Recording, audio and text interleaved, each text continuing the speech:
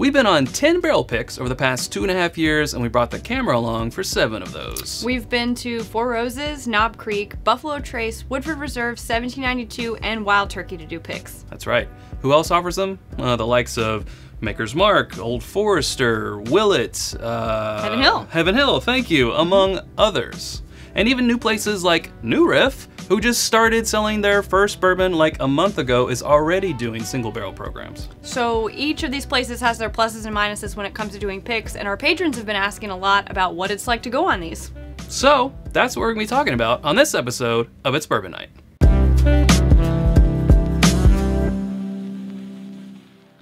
Barrel pick, a private selection, a single barrel pick, a store pick, etc. Yeah, it can go by many names, but it all means the same thing. It is a special edition, if you will, of a brand that is typically on the shelf, but it is a single barrel pick of that brand. So whereas, you know, Buffalo Trace, mm-hmm. right, not normally a single barrel, Sure, it's normally batched. right, but if you see one on the shelf with a sticker, it's a single barrel. Someone picked that. Right. So it's like a little snowflake. It's one of a kind. You're not going to get that again, Yeah, exactly. which is what's cool about barrel picks. just because it's a pick doesn't mean it's automatically good. Mm-hmm. It all has to do with who picked it and what they're going for. So, how can you tell if it's a store pick? Well, like this Buffalo Trace, there's a sticker right here. Four roses. Same deal. A sticker. Sticker. Some will have it just on the neck, which is a little, a little bit sneakier. Others will have like a little placard on there, like the Knob Creeks. Right. So what does it cost to go on a barrel pick? Well, I mean, that really just depends on what kind of bottle you're picking. Mm-hmm. Like, for example, say you're picking a Buffalo Trace barrel. Buffalo Trace normally runs about 25 bucks a bottle, and say the yield of that barrel is somewhere between 150 to 250. So let's just call it 200 for math's sake. Math. Um, so that would be about $5,000 if we're doing it that way. So the actual costs will vary, but that's not so bad.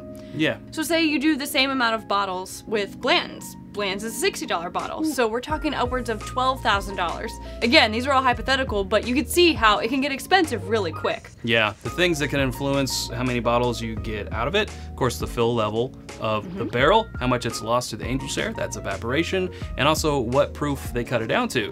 Cut it down to 80 proof, you're gonna get more bottles. Comes out cask strength, you're gonna get less, Less. bottles. So it uh, it all depends. So you want to do a barrel pick? Congratulations. Who doesn't? Yes.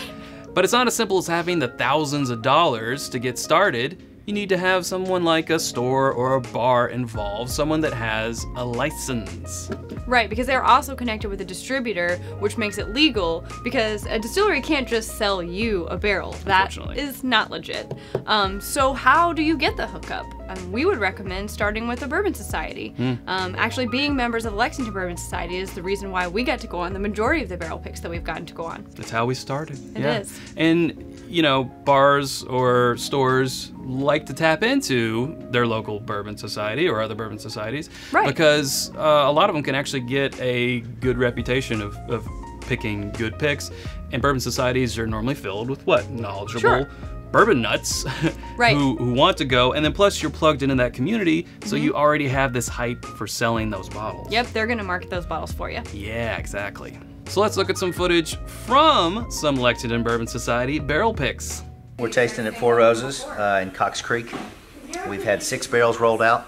We have narrowed it to four, and now we're going to narrow it to two.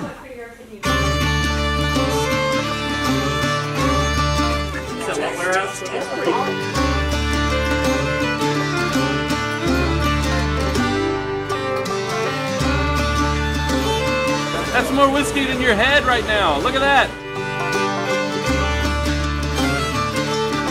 So, do you just walk into a warehouse and start pointing at barrels that you want to try and have them bring them down for you?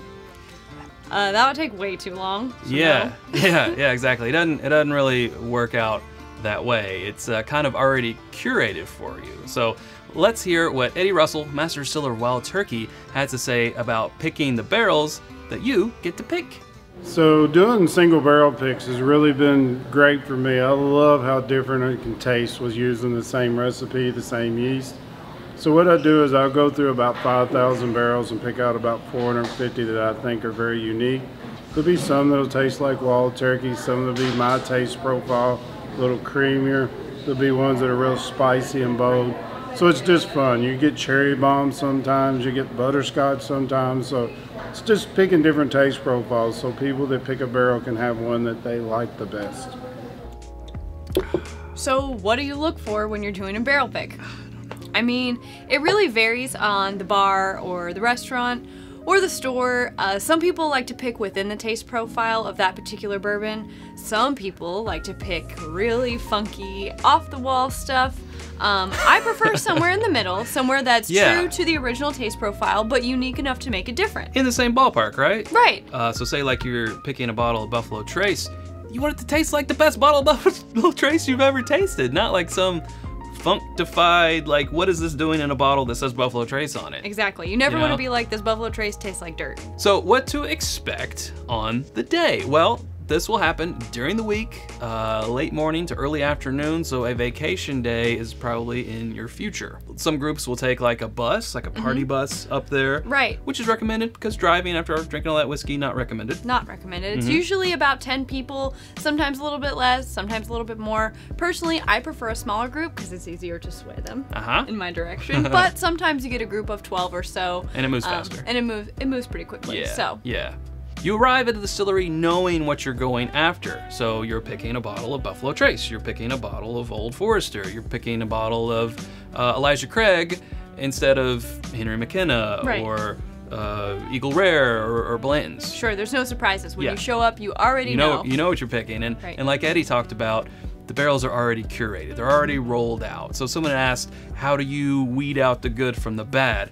Well, they're not really gonna roll any bad out for you, because you know what did Eddie say? Out, out of those uh, great number, he narrows it down to this much that Sure. that he wants people to taste and find that unique barrel. So you don't need to really worry about finding a, a really bad one. But I guess it could happen because taste is subjective, right? Right. Yeah.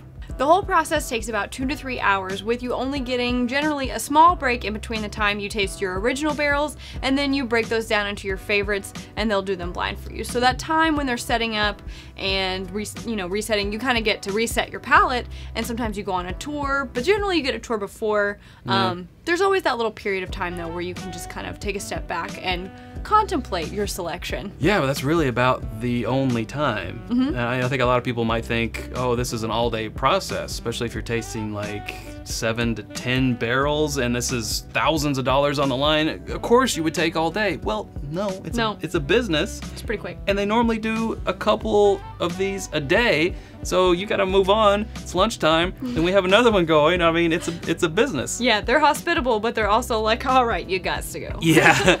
All right, you need to pick one. Now you're just drinking. So as you're going from barrel to barrel, how can you kind of reset the palate? Well, some places will provide crackers, uh, chips, uh, you know, um, things like that. Other places won't. Now, most of them won't mind if you bring a bag in. Yep, but they all will provide you with water. Yeah. So let's dive a little bit deeper into the process of actually choosing that barrel because as we said, generally 4 to even 12 of those barrels are already rolled out for you to choose from. Well, first things first, somebody's got to open up that barrel. And one of my favorite parts of going on picks is when they let you hammer the bung out of the barrel like this.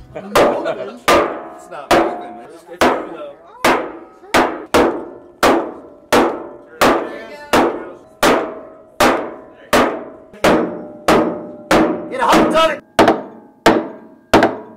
It'll move. Sometimes they pop out. It takes a minute. And yes, it's called a bung. And yes, you're hammering it out of the bung hole. Let's move on. Actual terms. Uh, then, Sarah, Right. the next cool part is the whiskey thief. Yes. Which is basically like a giant cool copper straw. so they thief the whiskey from inside the barrel at barrel proof and put it directly into your glass. Now you want to talk about non-chill filtered, non this and that. There's nothing like tasting bourbon straight out of the barrel, straight out of a whiskey thief, and sometimes poured by the master distiller himself in a warehouse. Really- That's worth the price of admission right there, folks. It really doesn't get any better than that. Nope.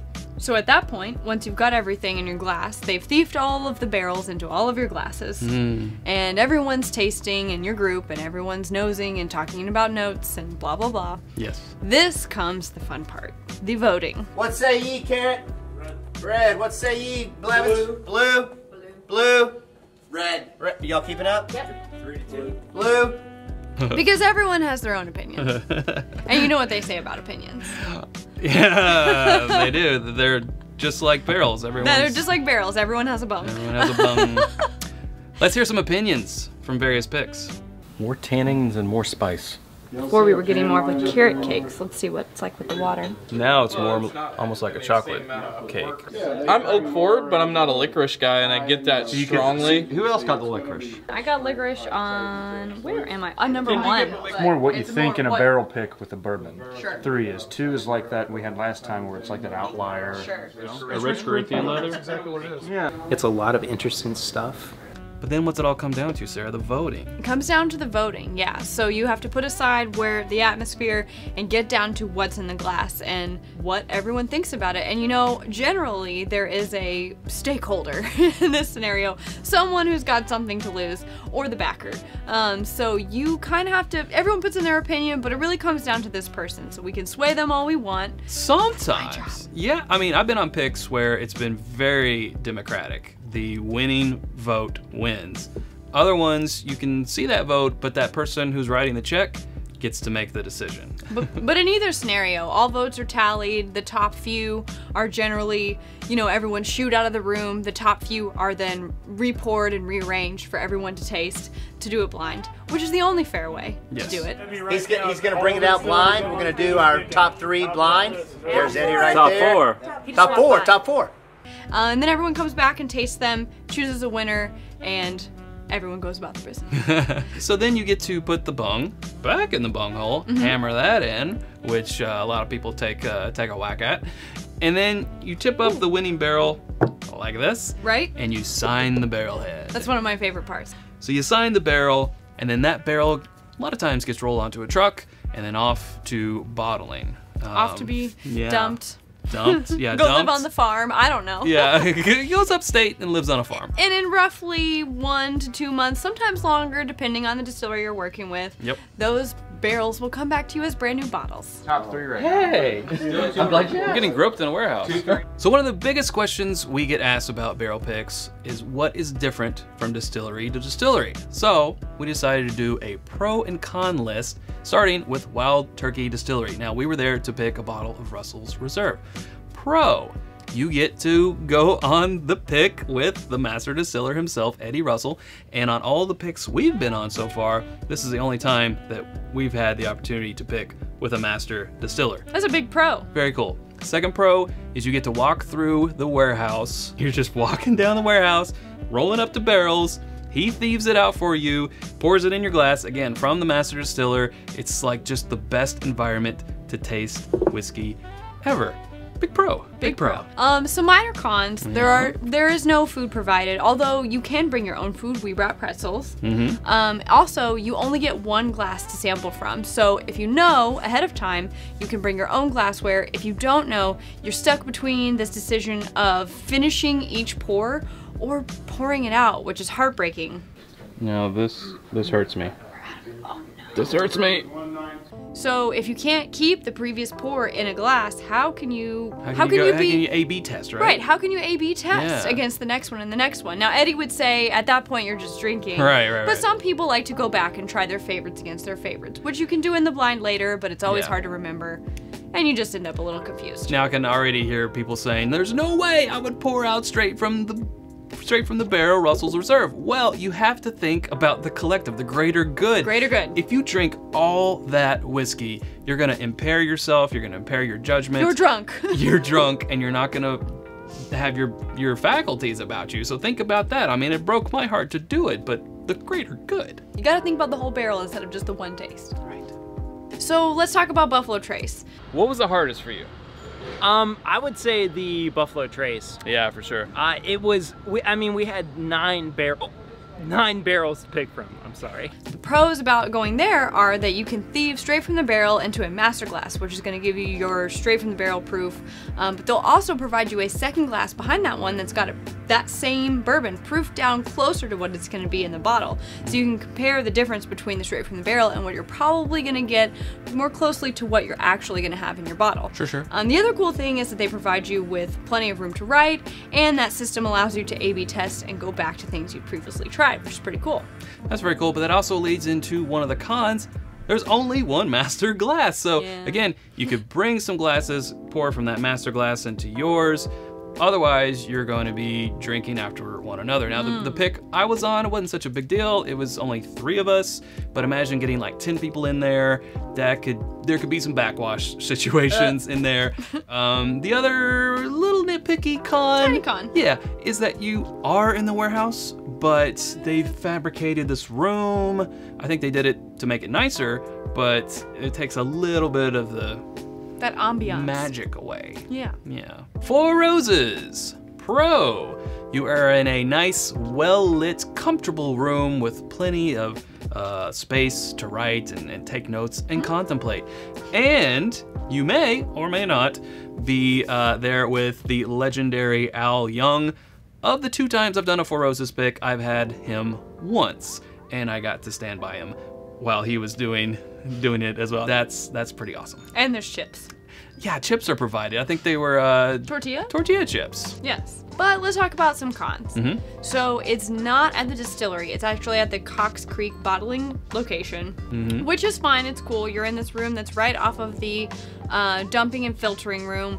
Um, you do get to take a small tour, but it's not in a warehouse, so you get to see some of what goes on behind the scenes. But it's I don't feel that it was the full experience of behind the scenes like some other distilleries. Right, right. Let's talk about Knob Creek. You get to do the tasting inside the warehouse, and on the times that we've been, we got to take our bottle home that day. You get to watch your bottle get filled. You can dip it in the wax and personalize it, and literally label it and take it home with you when you leave. Yeah, plus you get lunch. That's true. You do get lunch at on the Jim Beam grounds, which is amazing. It's barbecue. Yeah, it's barbecue. It's really good. Cons, you only have a few barrels. Like, Right. if I remember right, it was like three barrels because you have rocks glasses with colors on the bottom, like red, green, blue. You know, only three to choose from. Yeah, you know. But they're all generally delicious. So Yeah, yeah. less options to choose from, but you can possibly take your bottle home that day. So Yeah. give and take. Mm-hmm. Woodford Reserve. Now, this is a little interesting because you can have a, uh, a tasting at the distillery, or they can bring you the bottles. In, in some cases, I've heard they can actually mail them to you. Now, the one we did for our experience, we went to a store and they brought us these samples, which is cool because you can do it on your lunch break, which is how we did it, and we wouldn't be able to do it if we couldn't have done it on a lunch break instead of like taking a whole vacation day. Right, which is cool, but the downside to that is you don't get to go to the distillery and have the full experience. Um, you don't get you get a limited number of bottles to choose from because you're based on what they bring you, Mhm. and you don't get to thieve straight from the barrel. So it's already pre-packaged and presented to you, so you kind of miss out on that whole authentic experience of doing Yeah. a barrel pick. But you can. There is the option to do it at the distillery. So if you were to do it, we would recommend We that. just don't have that experience. No. Barton 1792. Pros, we got to do it in the warehouse with a senior brand executive uh, who poured, you know, he thieved straight from the barrel into four master Glencairn glasses from which all of us in the group poured into our individual glasses and got to taste, rank. He went back for more if we asked. So that was really cool. But the cons. Yeah, that kind of rolls into the con. Again, it's kind of a combination of Buffalo Trace and Wild Turkey. You only have your one glass, so either got to finish it all, and again, risk getting inebriated or pour it out. We got a winner no matter what. Winner, winner, chicken Russell Reserve dinner. Winner, winner, turkey dinner. Winner, winner, turkey Clever! So what have we learned from all this? Hmm. Well, there's no standard glass used between all the distilleries we've been to. That means there's no de facto, right? All you Glencairn fans, we're talking to you. No, I mean, whatever you like at home is up to you, but Yeah. these master distillers, they choose what they want to choose. Uh, what what else have we learned? You you wish that you could take all day and time flies. This thing will go by before you know it, and you wish you could A/B test, blind test until you're down to the final two, but that's not gonna happen because after all, this is a business, and they need to move on with their day. Correct. And Yeah. on that note, you wish you could take some more time Also, so that you could sober up and your palate could sort of bounce back and you can taste those final two or three or four Yeah. and really pick which one. But again, while they will be hospitable and donate their time and their knowledge to you, at some point they have a next appointment and you gotta go. Um, but basically, to wrap up, we recommend trying barrel picks. You know, Definitely. And you can find in your local area, you know, you can talk to some bourbon people and find a trusted store or bar as a source for good barrel picks. Uh, if you are interested in trying one, we recommend trying it there first. If you can get involved with your local bourbon society and get involved in a barrel pick, we highly recommend it. And if you are that baller who can invest several thousand dollars and split a barrel pick with a store or a bar or restaurant, um, it's a very cool experience that I don't think you will regret. So Yeah. we highly recommend getting involved if you can. It's an experience. It's like going to Disney World for for bourbon drinkers. It's an amazing time, and just cherish it. Cherish it and take notes because you're gonna Yeah. want to remember the age and the original proof and what was the mash bill and blah blah blah about each barrel that you try. So you're gonna want to take diligent notes and just enjoy the time that you're there. Actually, that reminds me of something, Sarah. Uh, a lot of times people will say, don't tell me any information about the barrels. They want to taste them blind. No age, no where it was pulled from in the warehouse, none of that. All of that comes later. Like, okay, this is the one we picked. What is it? So real quick, I'll give you the age, even though most of you guys probably know what it is. This is a CO4 J15, so this is October 15th of 2004. Just turned 12 years old about a month ago. True. And that's part of like the oh, we picked the the nine year, and there was a twelve year in there, Sure. or wha- whatever it is. And you that know? is a true blind experience. You just pick it because it's delicious and it is your own. And that's how it should be. That's how it should be. Thanks for joining us, guys, on this journey. If you haven't already, please hit that subscribe button if you like what we're bringing to the barrel. Uh, you can also hit the bell notifications to know when we put out episodes or when we go live. That's right. Thank you to our patrons who sent us all the questions about this episode that we were able to elaborate on and give you more info. How, we really how, how can they appreciate go to Patreon? What, what, how, how can they be one of those patrons? You can be a patron by going to patreon.com slash it's bourbon night and then you can weigh in on things like this as well. That's right. Um, you can sign up for as little as $1 a month and support your very own Chad and Sarah. No. Um, Hello. yeah, so just check those out. Also, we've been talking about glasses. Go to our Amazon influencer page, amazon.com slash shop slash it's bourbon night for some of our favorite glasses. And then lastly, social medias. All the social media channels at It's Bourbon Night. Boom. You can see what we're posting. There you go. All right. Well, thanks, Sarah. Thanks, Chad. Okay. And until next time, drink more single barrel picked bourbon.